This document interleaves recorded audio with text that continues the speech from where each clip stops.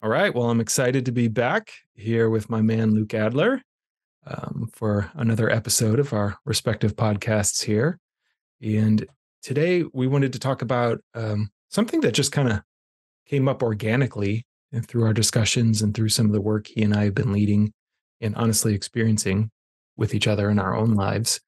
And that's this kind of widespread crisis right now, you could say, in a lot of ways, and just overall truth it seems that i've i've noticed in a lot of men i work with of the fact that a lot of men these days increasingly do not have um, very strong uh, friendships with other men. Like that there's there's just uh, uh, they call it the friendship recession i think is one article that was going around the new york times last year that said um, you know as of 2021 they polled a bunch of people, and over half of the men um, weren't actually satisfied with the type of friendships they had. And that this number has been going up every year since 1990. That um, the number of like solid friends men have has has continued to decrease, um, like to where some men just don't have any. And I think you know it's now we're recording this in 2023, coming out of the COVID pandemic, which I think really accelerated this for a lot of men. I know certainly in my practice that I was doing, which thankfully a lot of which what I was doing at the time was virtual. There were guys who were coming on to stuff that, you know, in the heart of the pandemic, like if they weren't on a call, they there was like no one for them to connect to the way life was structured at that time. And so we just really wanted to talk about how we've seen this show up in our lives, um, our clients' lives, and what we think one of the best paths forward for guys are. And I'd love to hear kind of your initial thoughts here, Luke, on on this subject. Yeah, I, I uh, there's so much nuance to what you're describing, Jason, and it's I think part of what's struck us both is that in our last Heart of Shadow, um, you know, ten week program, we had this powerful container that led to a community, a men's group um, a group of men that have committed to staying together, you know, without your and my facilitation. Yeah. And that was something we intended, but of course we we can't promise that. We can set the stage for it. But I think now after having gone through the experience, it is something that we can we can deliver on. We can we can set it up uh, for you to hit it out of the park, so to speak, to cultivate the conditions that are necessary for deep friendship that can be uh, um, supportive when life gets hard. And uh, I mean, life is not never short of challenges. So to have a group of of men that you can count on that are just right there to be able to go deep. Um, I guess deep even feels cliche to share, but a group of men where you can just be real with, you know, you can just be all of who you are and um, that was contrasted by a, a trip I took uh, with some friends um, recently, uh, a surfing trip. And there's a group of men who are in their 40s, 50s, and you know we're we're have families, we have careers, and we're taking time away from our, our people, our families, uh, our lives to bond, to surf, to hang out. Um, and there was a sense of um, don't know if desperation is the right word, but maybe longing to connect, to have a deeper uh, connection with each other. And what was missing is is some leadership. Some mm-hmm. how, how do you do that? We're together. We've you know d- done this deliberate thing to move away from all our responsibilities for a period of time. Someone has to set the stage for a more authentic conversation without that container, the default is into surfing, the next meal, women, whatever is kind of out there on the periphery in front of our senses to talk about.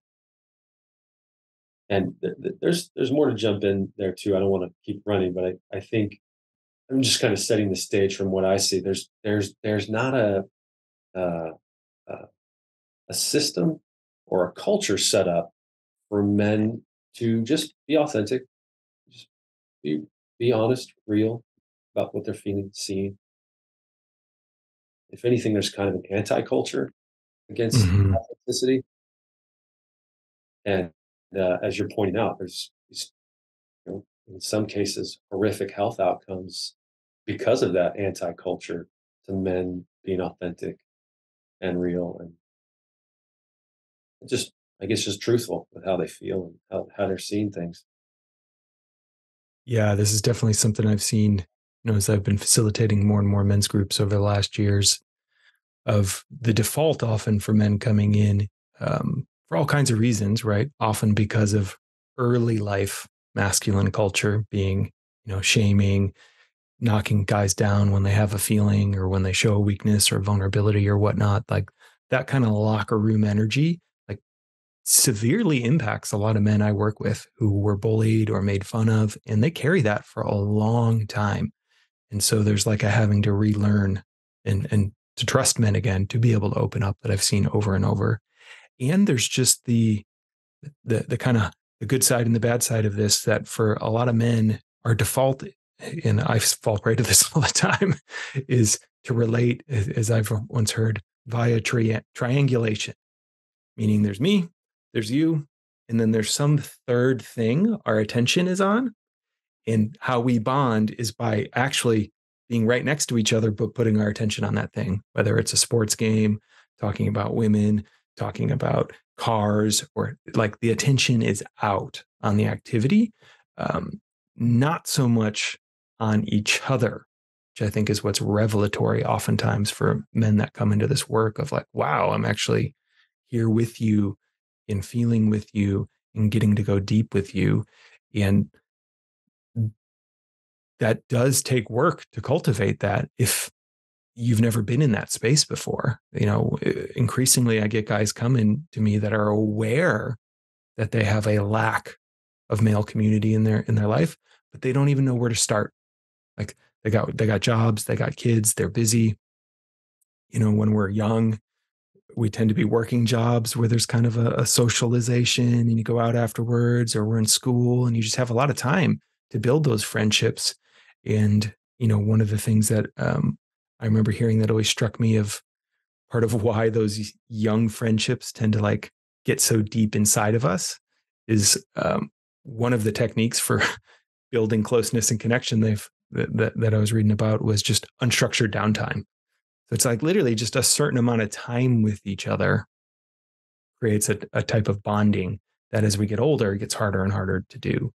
Um, but I, I just wanted to highlight before we move on to the the health aspect here because this is a piece of research that's been going around for a while, and I've I've named on other things, and I think we even talked about maybe last time you and I chatted of yeah, they, they've done the studies, and for men that self-report is feeling lonely, so not having enough connection in their life, the health risks are on par with smoking and being severely obese like in terms of how it can actually shorten your um, your lifespan to a significant degree. And I think this is just something that we've been seeing accelerating as cu- culture has changed. Um, a lot of the places we used to go for community are kind of falling away. You know, social clubs for a lot of people, religions kind of not a thing anymore. Like there used to be places where we would build that kind of community that just doesn't really happen anymore as everything's kind of moved more virtual and mediated there is, in my experience, like a, a hunger for depth of connection with other men and a realization that I need something here because I, I know what happens either when I'm solo and I lone wolf it. And I've certainly tried that. A lot of men I know have tried to try that and that doesn't work so well. Um, or when my whole world becomes my intimate partner or my family and all the troubles that that causes as well. yeah, yeah. There's there's the gosh. There, there's a lot. There's a lot in that last statement. Um, when we make our partners, our whole world, our children, our you know in-laws, our parents, our whole world, and essentially have this this very yin container around us. You could say feminine container but just you know a soft loving uh, highly emotional container. And we pour ourselves into that or we're stoic within that.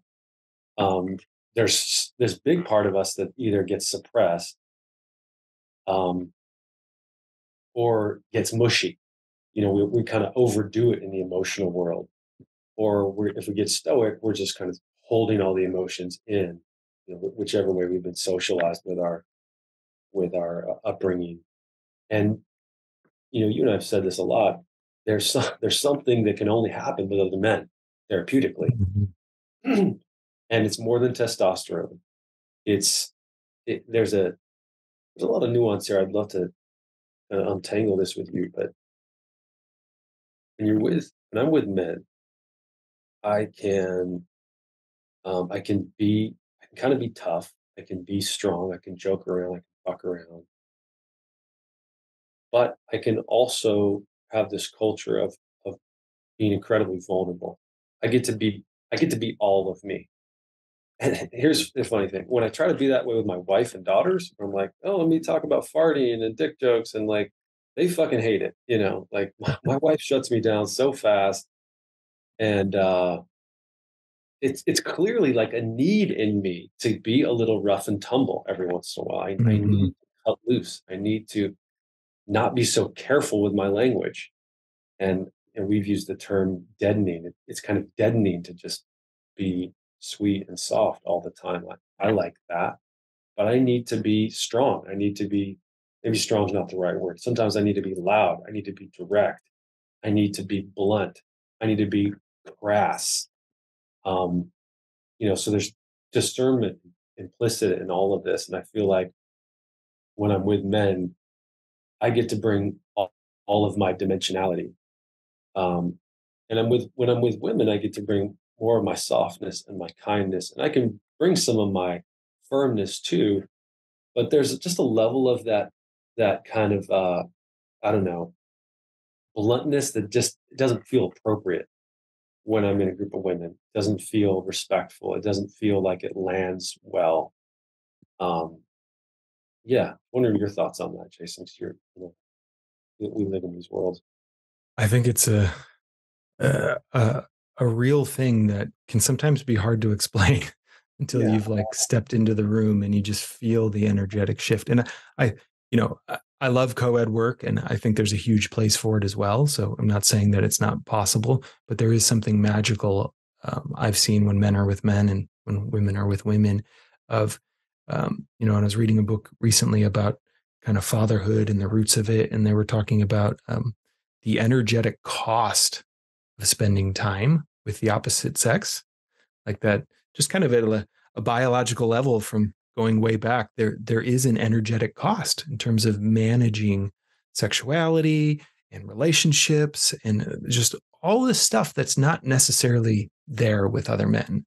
Mm. Um, so, in one sense, I find I actually just notice um, I get more rejuvenated because some part of me can go offline that doesn't have to be tracking certain dynamics with the feminine and with with, with women in particular. Um, now, obviously, this can get complex because if you're a gay man and you're spending time with men, you know, there's that layer there. But even still, I've seen men who come in um, who are attracted to other men. There's just a different energy when you're in that container of of that kind of whatever that manness we're talking about is.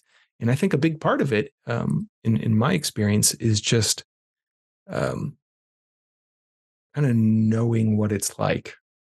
There's just something about oh, I know what it's like to be in that kind of body and hold that kind of burden in life. And this is just one of the things I've seen over and over and over again that there's there's something to that lived experience us men often share of when we drop into a deep space and we're like, you know, whatever it is we're sharing about the hardest day, how we're depressed, how we don't want to get up, or how we're exhausted. And another man just like looks at you and he's like, Yep, Totally been there. Totally get it, man. Like, totally get it.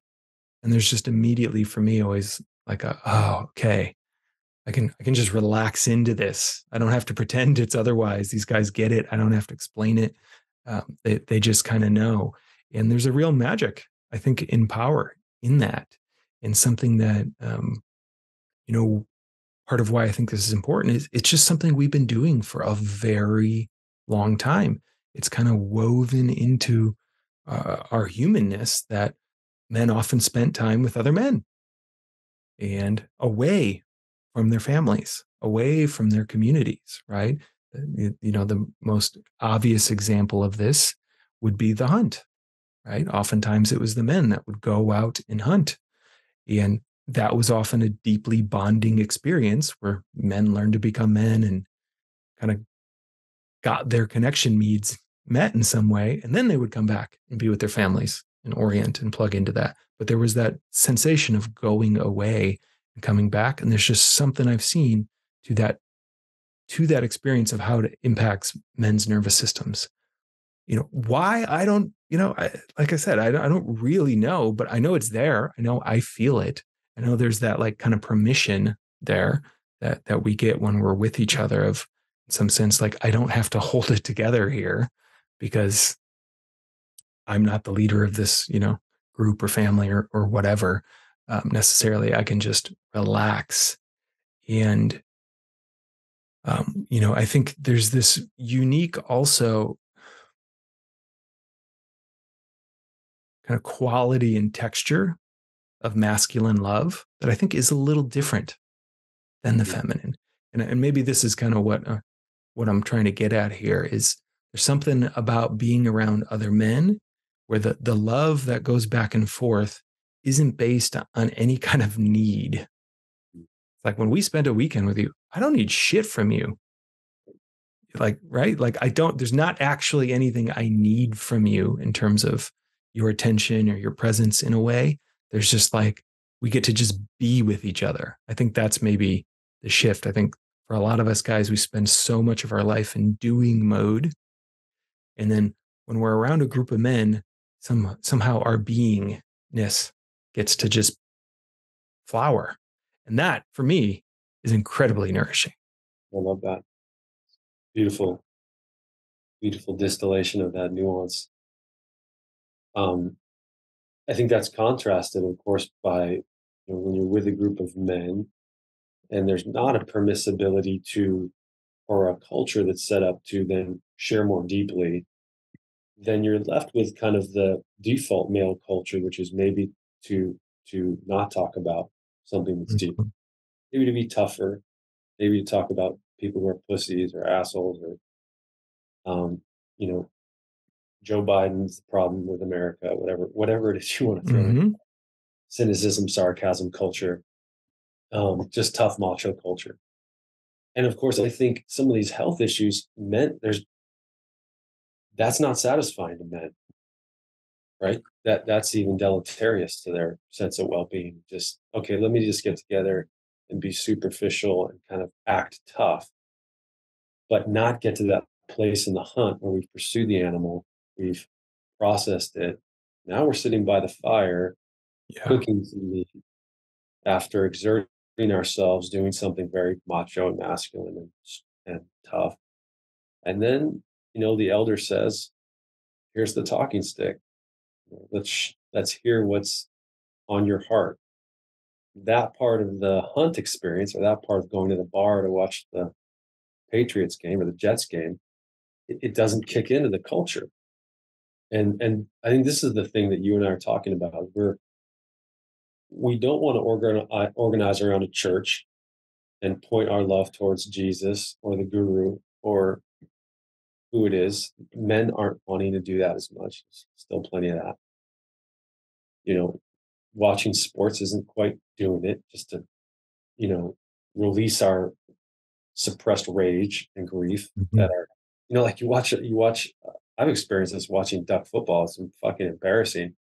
Ducks are winning. I'm having a great day, and they start fucking losing week seven of the of the college football league, and I'm fucking depressed. I'm like, yeah, this my whole emotional well being is caught up in these 18 to 21 year old boys. I'm like, something is fucked up about how this is engineered. So men don't want just the superficial layer, layer of relation and they they don't they need more than just the emotional part they need this bigger picture and what you and i are doing is you know, we're, we're we're on the edge of a movement that's creating a new culture for men, where we get to be we get to be our kind of primal animal selves, and we get to be our kind of emotional, loving selves too. And and uh, we're we're all so hungry for it, and it's it's deep and it's and it's strong and it's it's heartening and it's dignifying. Um, it's a dignifying experience.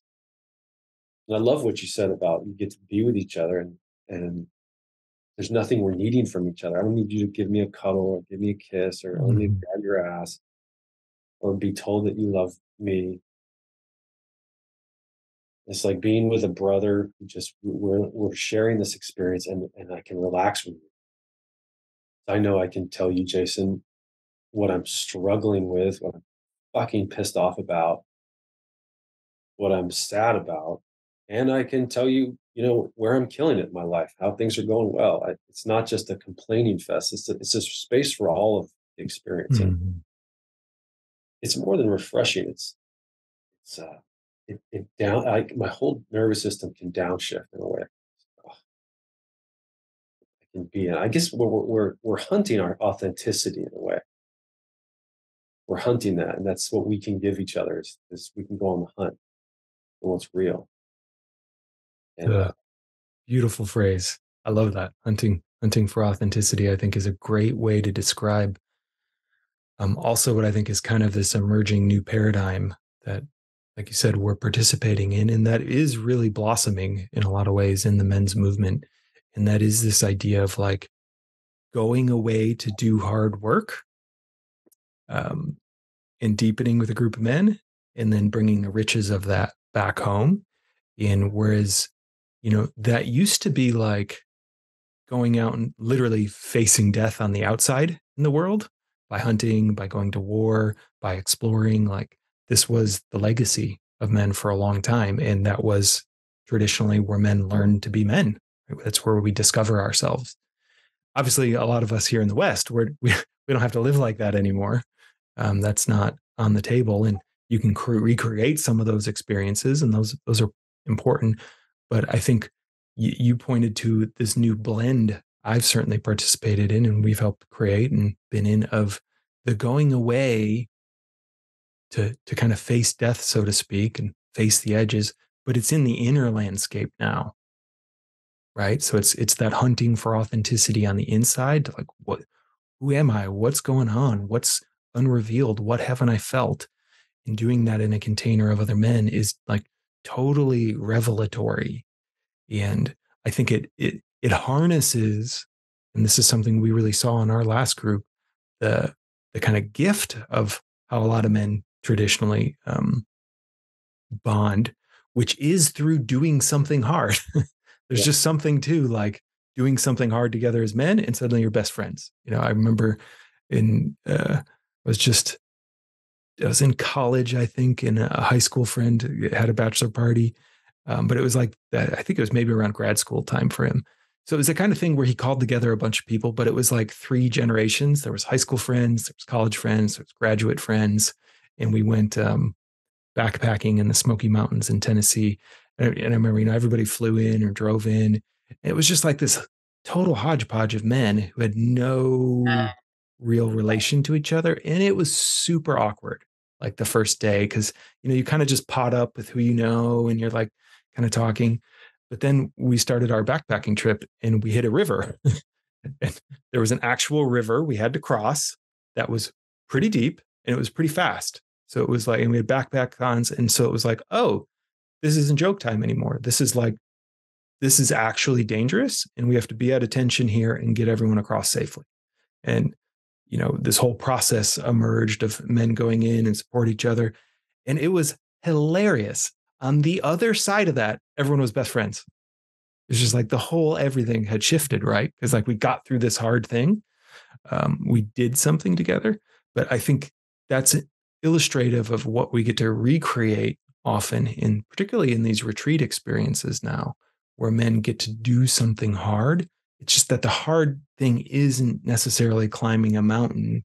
It's what's inside of me that I've never known how to touch or access or free honestly before and how do i go there with the support of other men and we've you know we saw a, number of men really fucking go there and bring things forth from themselves that um, were really edgy and really vulnerable and the bonding on the other side of that is just has been extraordinary to witness you know it's something i've lived but then to see it manifest in other men continually is just blows me away. It is incredible and that you know you're, you're pointing to this this inner part of the hunt right? Like we've hunted let's gather around the fire and excavate our inner experience. And the, the the the outer hunt in modern times is really that pursuit of maybe a career mm-hmm. And you know so a lot of men engage with that they experience the the challenges of that how do i make money in this world support myself and engage in relationship? And i'm doing i've often said that the men and women i work with for that matter are the ones that have followed the rules of society. You know they've they've, they've, worked hard whether it's in school or in a job and and they've got a stable career and and maybe they even go to church because they were told that's a good thing to do mm-hmm.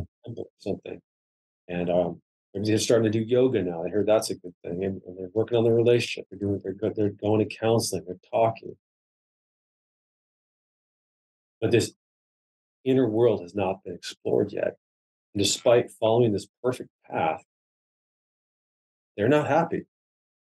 More than that, they're depressed. They're they're not satiated with their life. They've they've followed the rules of society. And something's missing. Is what we see on the outer stage of the path that we are prescribed is that there's not a a social system for inner work. It's just not there. It's not there. in our, You know, primary education, college, our our education system is set up for us to you know survive to make money mm-hmm. Participate in society and commerce but it's it's not really set up for this inner resilience and as we've said the pandemic just decimated and completely exposed that there's very there's a deficit of inner resilience mm-hmm. this emotional resilience spiritual resilience lots of divorce the rates of child abuse, spousal abuse. I'd be making it up, but maybe doubled or tripled during this time. There just wasn't the the psycho-spiritual resources to be, you know, in a challenged place. Yeah. Yeah. Yeah. I, I, I often have been reflecting on, um, I'm part of many men's groups at this point, of which you and I share one, but I have a group that meets locally here in LA that I've been in since, I don't know, 2014 you know, we meet twice a month, every other Monday night at clockwork.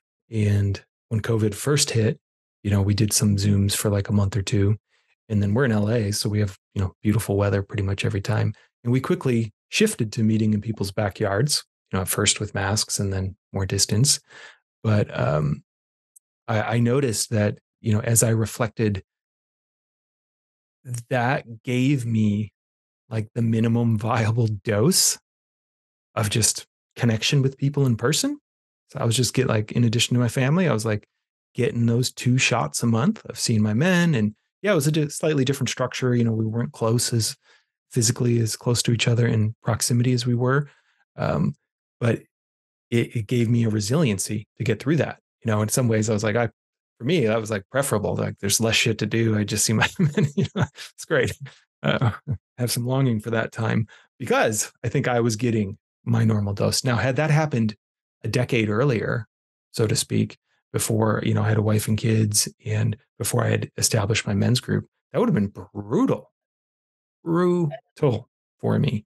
Um, I can absolutely feel as as it was for many you know virtual clients I was working for, and just having this um, you know this web of men, so to speak, around me from these groups I think this is a key thing I just want to highlight here is it it is investing in other male friendships is an investment in your resiliency. Like as you build those up, we're able to be more resilient in life. I mean, you and I have both been through some pretty intense shit in the last decade. And it's a lot easier when you have the men around. right? When you just have that place to go to bring the feelings or get the rage out or to get connected to or have someone support you. Um, that it, in a way, it's like day to day, it might not feel like it, but just that crucial moment of something happens and where do I turn?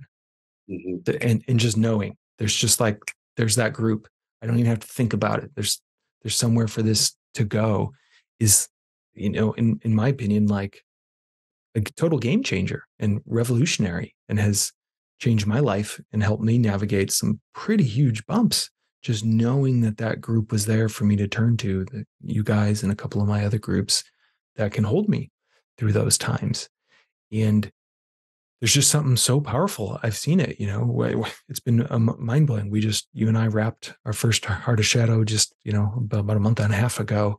And the amount of life that has already happened for that group since then i mean like legitimate earth shattering uh, traumas and shifts and changes in their lives has been pretty extraordinary. Um, and had that happened six months earlier, these guys would have had so much less available to them in terms of how to support each other.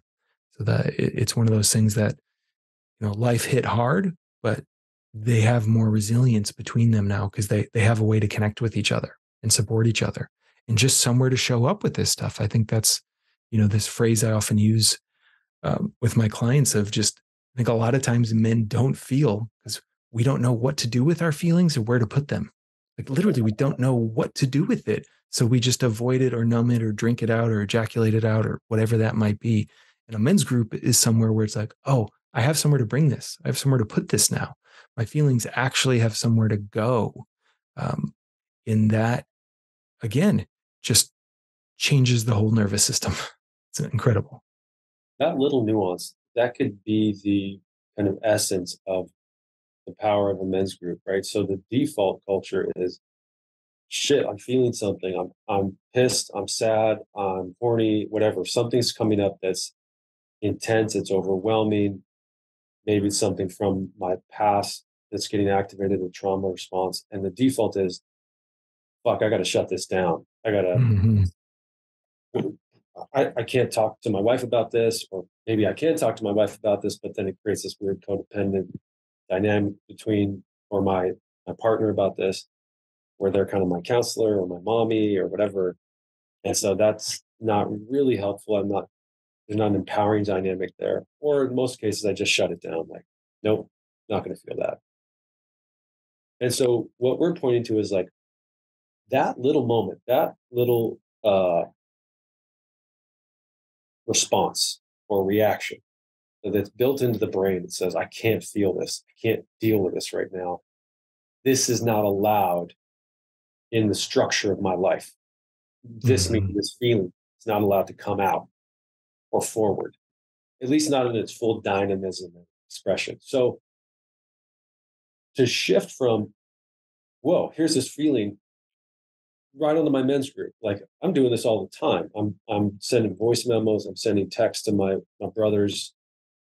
If I, you know, usually that's how I do it now. Um, it's fascinating what you're saying because what's what exists in me now is when there's an intense feeling, I'm pulling the phone phone out and I'm sending it. Exactly. I'm just sending it out there, and rather than like the the previous incarnation of me six seven years ago was here's a deep feeling. Let me go meditate. let yeah. me do breath work. Um, like you said, let me go jack off. Let me watch a lot of Netflix. Let me get the fuck away from this primal power in me. And all we're saying is, hey, what if, what if you just had another choice where that could be shared, celebrated, honored, welcomed, definitely not shamed, just welcome, like, yeah, you know, right there with you. Mm-hmm. And then it's like the weather it just passes, it's gone. You're like, going back, back onto my purpose, my culture. It's a tiny, it's a, I guess the the inner move, the inner and outer move there is small, but the impact is massive, massive yeah. impact. And, and it can't, the thing that's hard about it, Jason, is that it can't happen this is what's so unique about the work we're talking about. It can't happen through a meditative practice. You can't just mantra this away or do sacred medicine to get rid of this. It has to be relational. Mm-hmm. This particular form of healing is relational. So there's no way to just, I just want, I hear that, I heard this this week. I just want to, I just want to buy a piece of land, get some sheep, and not fucking deal with anyone.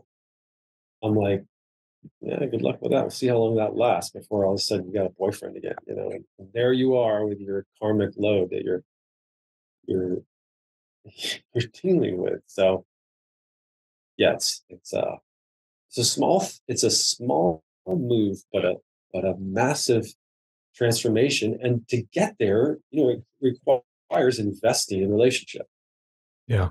And I think, you know, the heart of shadow, it's so unique because you know, like you and I said last week, you the work that you do and I do, we're we we like to ride the edge. We we've kind of left the shallow end of the pool and we're like, let's fucking go. Like we're done with just incremental change. We we want to move life forward. And so we create this environment that's totally safe, loving, provide a lot of education. And then we jump into the far end of the pool and we're like, all right, let's let's see what's underneath in the water here. Let's go for it. And we we lead some very deep work. And as a result, like you said, the mm-hmm. bonding is profound. And then you walk away with, you know, seven, eight best friends, and then you're you're off to the races. And that part's so key. I think the again, I want to highlight the the longevity that can come from these deep experiences. So like ours was you know, it was a virtual program, but it had a, a live retreat in it, which really kind of anchors, I think, those connections and relations in a way that then um, I think facilitates the ease of the ongoing connection, like you were talking about. That, yeah, oh, I can just put this into the group or text these people because a certain depth has been established between us that I think can be hard to do necessarily if, if you haven't quite had that piece yet.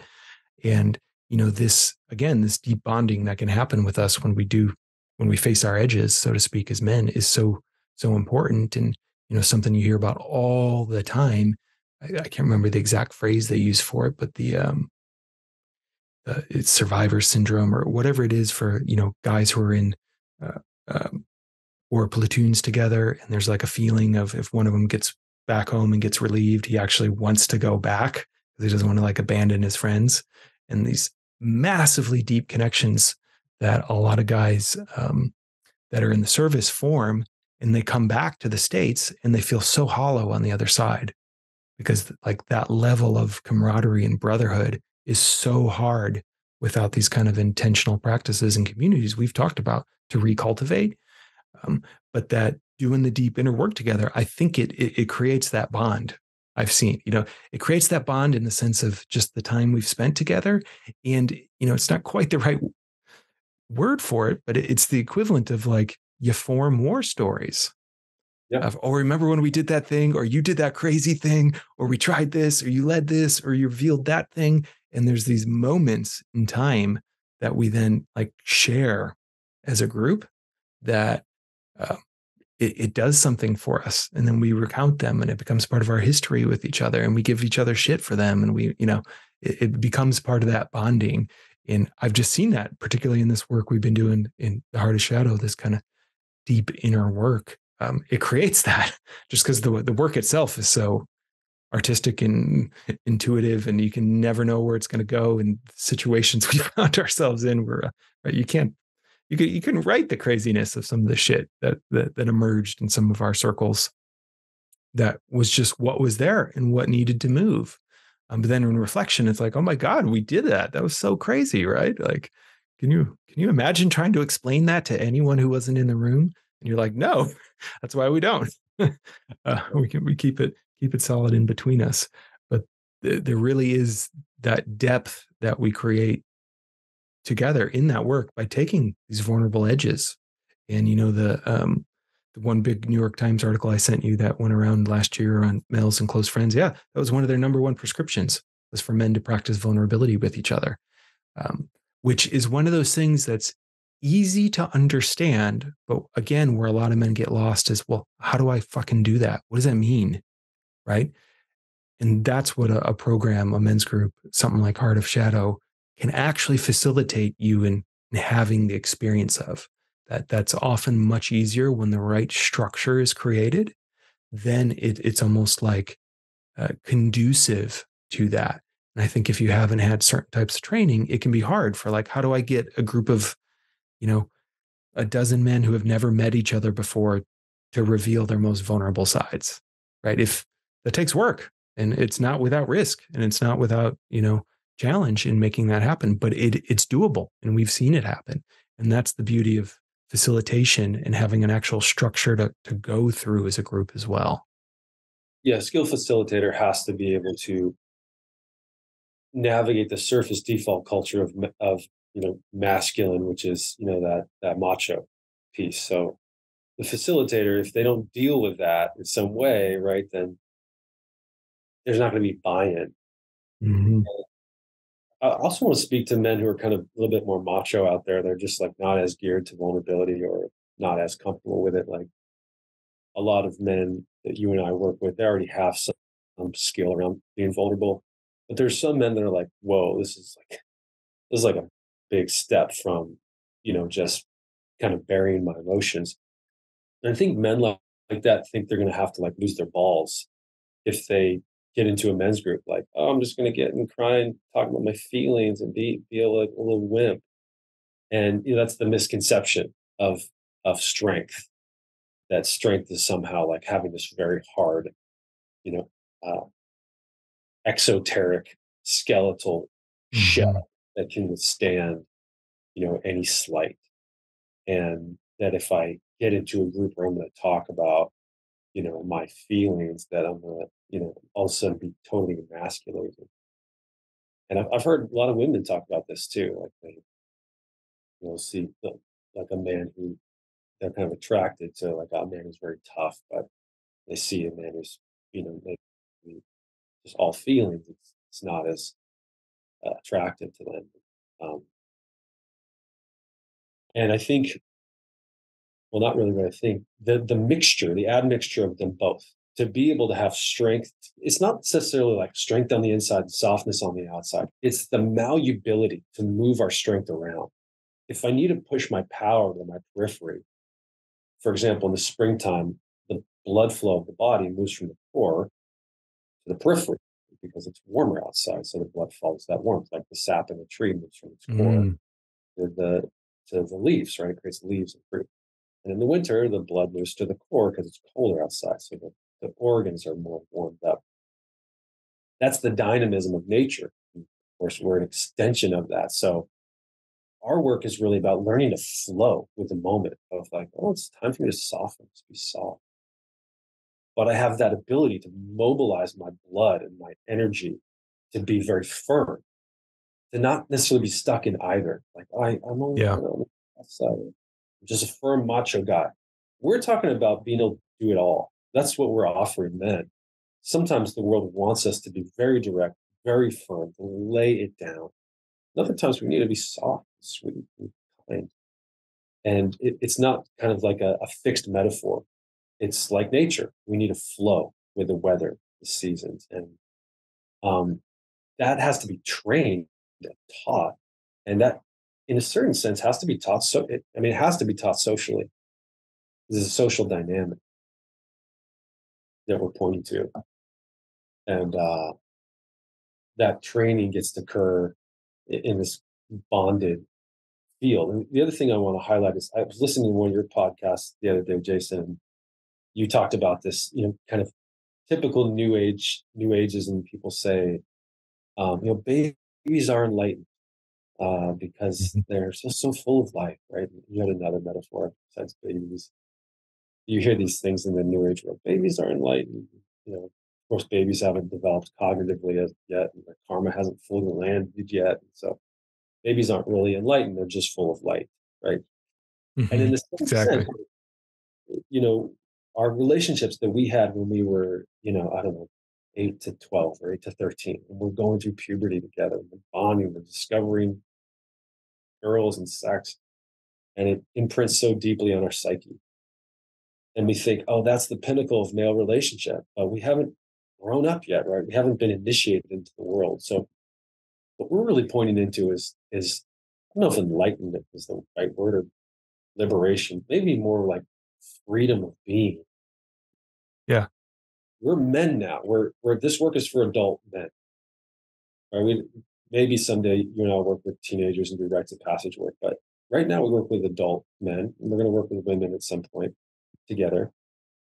Um, this is like you've gone through some life already, and there's there's like a returning. I don't know if it's a returning, but a moving within to uncover that that deep ability to bond that we once had when we were younger. And I think the good news is, is we've done the big outward stroke. We've all moved into the world. We've gotten beat down by it a bit, we've beaten back, we've laid our track, we're figuring ourselves out in the world. And now the invitation is to integrate the, the inner world. And I think if there's a message, it's that we we need each other as men. We need each other again. It's not it's not a path to go at it alone. You know, the 30s, 40s, 50s, 60s. That's not a path. That is not the path for men. To go alone. It never really has been. Right? It's like the war stories, the hunting stories you're talking about. It's time for men to come back together. Not, you know, to live together, but to have some relationships together mm-hmm. and to find gifts that we have for one another. They are many, and they're so beneficial to society, to our partners. And um, yeah, that's what Heart Shadow is about. And I think, you know, within the next year and a half, we'll have an offering for women. One thing I want to highlight for women, really the gift that women have for each other, in my experience leading shadow work for women, is that they get full permission to be in their softness and to be in their loveliness and to be in their sensuality and and for their rage to come forward and their yeah. their hurt and the the games womanship that has to be played for competition for partners all that gets to be revealed in this welcomed loving way not necessarily a goddess culture. You know some of that naturally comes forward as the essence of woman comes forward. But more this culture for everything that they have to women have to hold back around men or partners because they're having to mediate some of our emotions or they're trying to keep us tough. Mm-hmm. they get to let that go and they get just to be together and kind of nest love on each other and explore parts of their sensuality sexuality that maybe they don't feel safe to explore and you know, when that kind of stuff comes up in a women's group, I'll usually step out, have them create their own their own exercises around it, so they feel even more safe. I just wanted to plant that seed because you and I are going to be probably Heart Shadow thing for women in, in, the next you know year and a half, mm-hmm. and say that the shadow work is it transcends gender. Gender is important. We have to look at the socialization of being born into a body with a penis and a vagina and a uterus and ovaries. But quickly, when we get underneath, not necessarily quickly, when we get underneath the gender, the pain is very similar. Yeah. So you and I are qualified. You know, we can lead women, women, we can lead men, and we're leading really in this deep style of work. Not we're not leading a women's group. Um, for men, we're leading more the men's group because we're men and we're familiar with that genderization, that socialization. But you know, when we lead women, it's the, the same kind of depth occurs, the same alchemy, the same power and bonding. It's just some of the cultural things are, are different. And so there's there's no assumption that we know what it's like to be a woman and know, know that world, but we do know how to lead deep work for men, for women, for co groups. So, Um, I, I love all that. Um, yeah, it's it's it, it's human work, Right. I think that's the thing underneath. And yeah. sometimes the, the container to just getting there is sometimes different. That's right. It. That's where there's a gift in men being with men. There's a gift with women being with women. And some of our first groups we shared with each other co-ed, right? Where you get get all that mixed together. And there's a whole other thing that can happen there. Um, but point being, you know, I think for men in particular, uh, there is this kind of loneliness crisis. We're not. It's easier for men to default to a non-relational space mm-hmm. on the day to day. Right. I think this is something I, I, I do see as a difference between how men and women are moving through the world right now. A lot of women often at least have a couple people that are texting or like they're relating throughout their days and weeks. Whereas for us men, a lot of times it's very easy for that not to happen. We tend to, in, in my experience, and certainly something I live, um, when we're stressed, we tend to withdraw. So we don't actually go out with our energy to others. We pull in. And that's the thing that just decimates so many men over time, whether they're single or married or have families. They keep pulling all that stress in, like you said, or or trying to eject it out of their body in some way rather than actually bringing it into relationship with other people, which is one of the key things that can really change things. So for men, I think it is even more important to find this type of camaraderie or brotherhood or group that um, you know for for guys that have been following me know that yeah my prescription for that is yeah get into a men's group like i think that's the missing piece and this program that you and i um, are leading now the heart of shadow is like the deepest cut of that you can pretty much get in terms of how deep you can go and the types of things that can surface with other men, which results in that kind of lifelong bonding. I think that's the thing that, that the beautiful thing about this work is, you know, it can be therapeutic in a sense. There's that side of it of things can move and you can change your relationship to feelings and trauma and all kinds of stuff and the piece that you know you don't necessarily get in a normal kind of one-on-one therapeutic relationship is you get that group. You get the brotherhood. You get that that that tribe around you of guys who just know what's up for you and that you can bring the honest truth to fast and quick and get that support when you need it. And you know as i like to say sometimes also get that challenge or accountability or get your ass you know, held to the fire of like wow you said you were going to do this or you're doing something pretty shitty there, man. You know, like might be time to, you know, take better care of yourself or your family or something, but from a place of love, not from a place of tearing down. And that's a shift that I've seen really happen with a lot of men I've worked with of the the light bulb moment of when the switch goes from wow, I spent my whole life thinking other men were competition to actually the right men are going to be my greatest allies in life. They're going to be my greatest allies and champions. Mm. And so I want to spend more time with them. And that is a total game changer. Such an incredible feeling to be or have a community like that. And that, that I have that in various forms. Just just knowing it is like a sense of strength I feel behind me, alongside me. You look at the cost of our program, I think it's uh, where are we at? 3,000, 26 hundred early birds, something like that.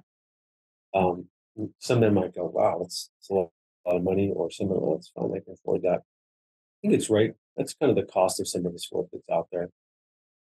And when you look at the benefit of it, right? This this is not just a ten week program with a you know a uh, luxury retreat in the middle, and then oh cool, that was a great ten weeks. It's over, and you know wh- where's my next uh, you know moderately priced. Expensive mm-hmm. adult form of spiritual entertainment. That's not what this is. This is an investment in your health, in your financial health, your physical health, your emotional, spiritual health, health of your family, the health of your company, your businesses.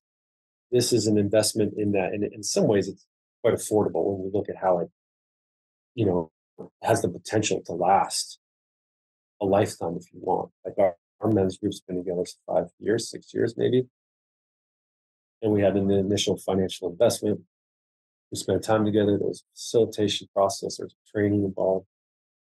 And now we're the owners of it. And the dividends, the what it's given back to us is invaluable. You can't put a price on it. It's priceless. So I would just say if you're out there and you know you're resonating with our work, you like what we're saying, you like the testimonials on our Heart of Shadow site, um, this is the real deal. This this we're not blowing smoke up your ass. This isn't some feel good fucking drum circle where we just all we do is stare into each other's eyes and say you're beautiful. I mean, I love that shit, and we're gonna do some of it. It's a lifelong relationship with yourself and a group of men that can only grow. And I remember something our one of my mentors told me after I'd done a few of these trainings. Said, "Luke, the work just gets deeper, and deeper, and deeper." And I believed him because I had already done two two five day trainings, and the second one was twice as deep as the 1st hmm and I could feel what he was pointing to. And he was not bullshitting. It just the work has continued to deepen. It's gotten more subtle, nuanced. It still can be for me in my own personal work. It, it can still be quite explosive, um, you know, firework like. And so I, I just say, don't let money stop you around this. Um, if it's a lot for you, um, it it is beyond worth it. And you know, if if you need some support, you can reach out to us. But it's a tight container. We got 10, 12, I think 12 spaces. Oh, guys, yeah. you and I are focused, man. We this is like this is the time when Jason and I turn it all the way up. So, you know, we're giving it all. We're pouring it on. Because for us, this is more than just, you know, if we wanted to make a ton of money, you and I maybe would have become day traders or lawyers or, you know, we would have done something that's about money. This is our calling, right? This is what we care about. We care about culture shifting in the healthiest, most vital possible way. And um, we're kind of all in for this. So it's not kind of, we are all in. So you'll get the very best of Jason and I, our attention, our focus, our care. We will pour ourselves into this group because it's that important that you leave with a men's group that's established, that has momentous momentum that can carry you forward, you know, in the challenges that are just part of life. They're happening, they're going to happen. You cannot outrun hard shit. So with that, I'm I'm fucking stoked. I'm fully inviting people to step up, to sign up, get on with us for this next one in the fall. Um, it's going to be fire. It's going to be absolutely lit. Yeah. And you can check out all the information for this program at heartofshadow.com. And like Luke said, reach out to us if you have any questions. And uh, only 12 spaces, so it'll it'll fill up. So definitely don't, don't wait. And it is, you know, I was just talking to a client um, the other day about this again the same shift that you got to realize particularly for those of you guys who like have families or have relationships this is an investment in your family and in your relationship. It actually is. You will be able to show up more presence more energy more vitality more love when you have this kind of group of men around you. I know it certainly has done that for me. And so this is the real deal. Uh, you know loneliness is not something um, that has to be the case. There is a different way of connecting with other men out there, and our program isn't the only way to do it, but it's pretty damn good. So we're definitely gonna toot our own horn a little bit there. All right, my man. Well, pleasure being here with you as usual. Look forward to uh, when we do this again soon. Yeah, thanks, Jason. Great to see you. I love love talking with you about this stuff and just so inspired by you know getting to work together and share this work.